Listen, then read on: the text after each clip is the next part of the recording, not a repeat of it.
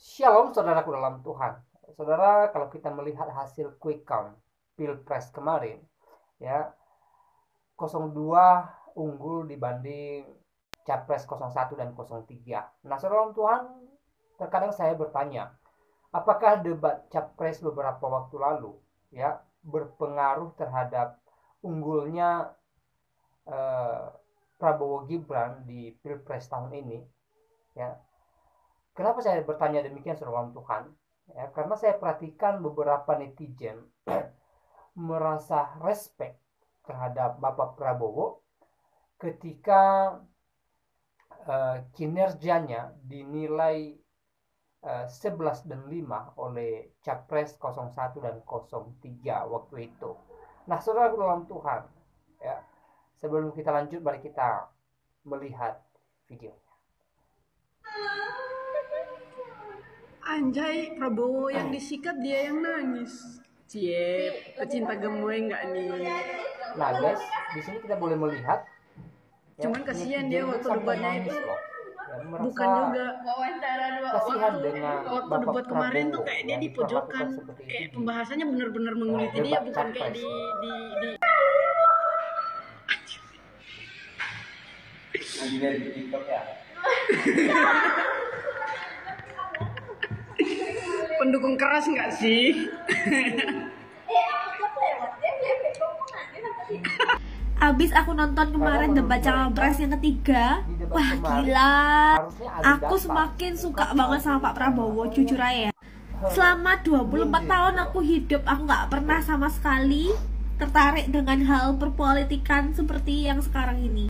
Tapi kalian tahu gak sih Politikal ini tuh kayak bener-bener seru banget sebenarnya kita punya hak sih buat memilih siapa pun ya. Cuman kalau aku pribadi setelah aku baca-baca artikel aku lebih suka Pak Prabowo. Meskipun meskipun banyak teman-temanku yang mereka tuh nggak suka sama Pak Prabowo gara-gara kejadian yang 98 terutama etnis Tionghoa. Tapi kalau menurut pendapatku itu pas pada saat itu Pak Prabowo pun juga nggak punya pilihan apa pun selain menjalankan tugas dari atasannya kan.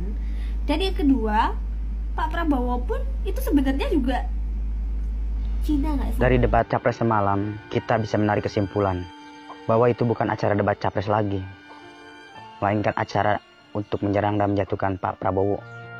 Karena itu sudah keluar dari tema acara yang harusnya kalian menyampaikan gagasan dan visi misi kalian, bukan untuk menyerang secara personal terhadap pribadi Pak Prabowo.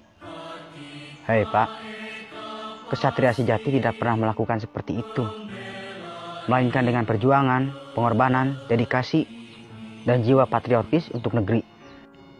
Punya dendam pribadi apa sih kalian sama Pak Prabowo? Sampai hati kalian selalu mencari-cari kesalahan beliau. Dari awal berstatement pun kalian sudah keluar dari tema acara tersebut. Kemudian kalian menilai kinerja Kemenhan. Bahkan kalian sendiri pun tidak paham apa itu sistem pertahanan. Lalu kalian meminta sistem pertahanan terhadap Pak Prabowo di ruang publik. Kalau ngomong itu logika dipakai. Sistem pertahanan itu dirahasiakan. Tidak boleh ada orang yang tahu. Apalagi musuh sampai tahu. Karena yang ditakutkan musuh akan tahu tentang kelemahan dan kekuatan pertahanan kita. Dan kemudian kalian berulang-ulang mencari kesalahan. Prestasi Prabowo sejak jadi menteri banyak yang gagal terutama food estate. Banyak sekali yang gagal paham apa itu food estate. Karena itu adalah proyek jangka panjang. Jepang saja memerlukan 10 tahun sampai dia berhasil. Sekarang saya balikin sama kalian. Apa prestasi kalian? Apa sumbangsi kalian? Apa dedikasi kalian untuk negara ini? Perlu diingat, penilaian tertinggi ada di tangan rakyat, bukan di tangan kalian. Kalau memang kalian ingin berdedikasi kepada negara, tidak seharusnya kalian mengumbar kebencian dan mencari-cari kesalahan hanya untuk ambisi kalian. Karena itu akan gara-gara Anis yang terkesan sok merasa dia paling benar cara kerjanya sampai dia nggak sampai nilai yang dikasih Ganjar pun dia bilang masih kebanyakan. Aduh, Pak Anies kenapa jadi begitu Pak Anies? Kenapa? jadi kenapa jadi kayak terkesannya kayak kayak serakah untuk menjabat sebagai pemimpin? Sampai mengge- terlalu menyenggol sih boleh Pak Anies tapi jangan sampai menjorok. Jangan sampai menjorokin orang ke ke menyenggol boleh hanya sekedar menyenggol. Tapi jangan sampai menjorokin orang. Itu itu permainnya udah kasar. Udah kasar tuh permainannya udah nggak halus udah kasar itu ibarat kata pemain bola kakinya dijegal Udah kasar itu permainannya. Udah kasar. Pak Ganjar kasih nilai 5 untuk Pak Prabowo dari kinerja sebagai Menteri Pertahanan. Pak Anies kasih nilai 11 dari 100 untuk kinerja Pak Prabowo. Kecil sekali ya. Satu sekian persen lah. Pertanyaan saya Pak. Berapa nilai yang pantas untuk Bapak sebagai mantan menteri di kabinet Jokowi yang diberhentikan? 90 mungkin dari satu miliar atau 100 dari satu triliun bisa jadi karena kinerja Pak Prabowo kalau diukur dengan Bapak ya jauh lah Mama Anies, sudah menentukan pilihan. Kenapa? Anies nggak dewasa. Anies ketika adu debat itu terlalu menyudutkan Prabowo. Di situ aku aku nggak suka. Dia menampakkan dirinya seolah-olah biar biar dia yang dibilang pintar ini ini gitu loh. Debat kemarin itu bukan bukan jadi adu adu bukan jadi kayak adu. Kalau Prabowo mem, a, apa Prabowo dia bener-bener nyambung ke debat itu. Dia memang apa namanya adu argumen untuk membangun Indonesia, membangun negara, masyarakat gitu. Tapi Anies enggak, Anies hanya menyerang, menyerang, menyerang, um, meng meng mengkoreksi kerjaan si Prabowo gitu loh. Sebenarnya nggak boleh kayak gitu. Jadi nggak kita nggak nggak dapet ini apa namanya gagasannya Anies nggak ada jadinya jadi nggak nggak keluar gagasannya dia lebih banyak menyerang soalnya ngerti nggak? kalau Prabowo dia dia dari banyak yang komen di mana-mana Buddha baca. Banyak yang komen di mana-mana aku baca. Nomor dua memikirkan rakyat memikirkan negara. Nomor satu nomor tiga nomor tiga. Kalau Ganjar Ganjar nggak nggak terlalu. Anis terlalu.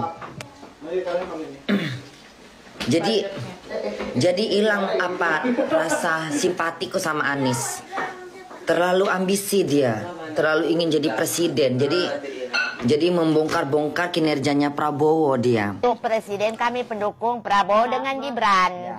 Kenapa? Saya selalu nonton debat sampai akhir-akhir. Ya. Tidak gimana pernah aku menonton debat pres, ya Prabowo. Selalu saya mendekat Prabowo terus. Kenapa alasannya? Karena, karena saya mau milih Prabowo dengan Gibran. Ya alasannya kenapa? Kami minta mendukung ya. Karena karena pintar. Karena Pr Prabowo itu jujur, Gibran masih anak muda, cerdas dan pintar. Iya. Anak kecil. Nah, tuh anak kecil. Masih anak kecil, masa anak kecil, Pak. Ya kan dah pernah jadi wali kota. Iya. Wali kota mana? Wali kota Solo. Oh. Hmm. Tapi kan pengalaman tidak terlalu besar. Nah, ini nggak. Mana tahu Pak ya. Nggak boleh gitu. Kenapa nggak boleh? Nggak boleh. Itu. Ah, kalau kalau ini kalau Ganjar gimana menurut nenek? Kami nama Ganjar. Nah, kalau Anies Anies Anies Enggak. Enggak, oh nenek tidak mau ini menyerang ya? Saya tetap Prabowo. Nah, tahu. Nah, nggak boleh ngomong gitu. Nah, ya, kita harus sama-sama mendukung, tetapi kami pilih Prabowo dengan Gibran. Ya. Kalau seandainya nenek dikasih duit, mau suruh milih Ganjar mau? Enggak. kami enggak mau kami politik Prabowo. uang. Satu juta? Enggak. Dua juta? Dua juta pun enggak. Sepuluh juta pun enggak. Harga mati ya? Harga mati. Kami, kami tetap Gibran dan Prabowo. Prabowo. Eh, tetap Prabowo dengan Gibran. Anis, Anis? Anis enggak. Kenapa deh alasan enggak mau? Kami enggak mau. Ya, Kenapa deh? Kena pancang banyak bohong. Wah, enggak tahu bayar non silakan. Nuan dukung minta, Bang. Oh, apa nanya Aku nak campur itu, nak. Loh, Dek. Ah. Nasi saya enggak mau omong gitu-gitu, saya mau jujur. Nah, tahu mana orang enggak, Riz. Nenek enggak. Nenek semua mendukung, tapi saya tetap pilih Prabowo dengan Gibran. Ya. Nah, yang lain-lain tetap bagus semuanya. Ya. Tetapi saya pilih Prabowo dengan Kalau Gibran. Kenapa nak memilih Anies? Aku enggak mau dia pancar bohong. Siapa yang mau dukung minta? Nah, sekarang dia bilang, kenapa yang pilih? Kalau nona dukung bisa pagi datang nyemput wan aku nama tarin wan oh zanto wan bisa datang. Sida ya orang saya apa itu videonya beberapa dari netizen memberikan tanggapan mereka terhadap uh, pernyataan Anies Baswedan dan juga Ganjar Pranowo di debat capres beberapa waktu yang lalu. Dan netizen merasa ya harusnya mereka adu data bagaimana mereka memajukan Indonesia ini lima tahun ke depan. Tapi apa yang netizen harapkan ya justru tidak muncul. Yang muncul malah uh, seperti yang saya mereka bilang tadi ya serang menyerang gitu loh. Sampai mereka beri nilai rendah terhadap kinerja Bapak Prabowo uh, ketika dia menjabat sebagai menhan ya dan terlalu Tuhan seperti yang saya bilang di awal apakah ini pengaruh terhadap uh, unggulnya Prabowo Gibran di pilpres tahun ini ya sesuai quick count yang kita lihat di media ya walaupun kita masih menunggu apa uh, keputusan dari KPU dan saudara Tuhan ya apa yang mereka sampaikan tadi sungguh luar biasa ya. Mereka sangat ibah mereka sangat respect terhadap Bapak Prabowo ya di debat capres beberapa waktu lalu ya. Dan semoga apa yang disampaikan oleh netizen ini menjadi review tersendiri bagi diri uh, Bapak Anies dan juga Bapak Ganjar di kemudian hari ya. Supaya ya ketika mereka uh, ada kesempatan lagi di kemudian hari untuk mencalonkan diri sebagai uh, capres ya mereka betul-betul adu data ketika ada debat gitu loh ya. Nah saudara Tuhan saya tidak panjang lebar menyampaikan pesan melalui ini. Ya seperti apa tanggapan saudara tuliskan di kolom komentar berikan tanggapan yang baik yang positif terutama tanggapan yang memuliakan Tuhan. Tuhan Yesus memberkati kita semua. Shalom